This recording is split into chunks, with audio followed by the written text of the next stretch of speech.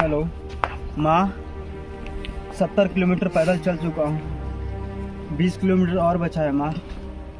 माँ तो टेंशन मत लेना। तेरे इलाज के लिए मैंने पैसे इकट्ठा कर लिए हैं। तू टेंशन मत लेना माँ। मैं बहुत जल्दी घर पहुँच जाऊँगा बस तू हिम्मत मत हारना माँ। हिम्मत मत हारना।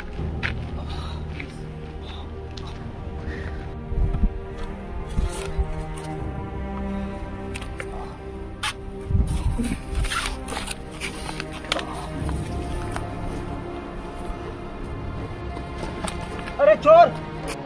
चोर! मेरा बैग! मेरा बैग!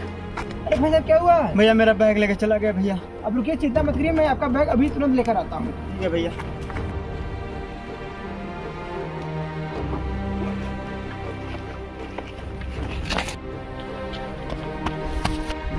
भैया